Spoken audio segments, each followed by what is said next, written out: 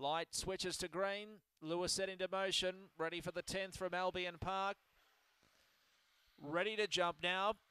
Racing, here's Bruce left with them. He gets plenty of room early. Sunset Matilda leads initially, but through to second. Here's Bruce starting to rail up, and then Marianne's Memory across to third, followed by Cake is Bad in fourth. Then came Nawaki Cruise. Second last Whiskey Business. Last of all, Dacey's Unique. So up to the turn, it's here's Bruce in front by a couple of lengths to Sunset Matilda, trying hard. Deep route, Cake is Bad, but here's Bruce wins the money by two lengths on the line. Uh, photo second.